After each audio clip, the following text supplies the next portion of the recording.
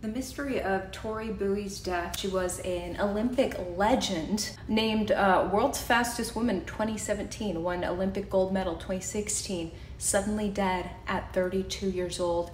No cause known. People asked police to do a welfare check because they hadn't heard from her. Just found alone in her home dead. According to this article, she became reclusive and isolating. People were, I guess, concerned about her mental health. That got me thinking, like, how could such a powerful, strong person die alone like that? When you're known to be, you have a reputation as a powerful, strong person, and you isolate, you don't respond to people, they're more likely to leave you be. The people are more likely to not know they're struggling and just think, oh, that person doesn't like me anymore. Just because someone is strong does not mean they don't struggle, does not mean you shouldn't reach out to them again and send them some love.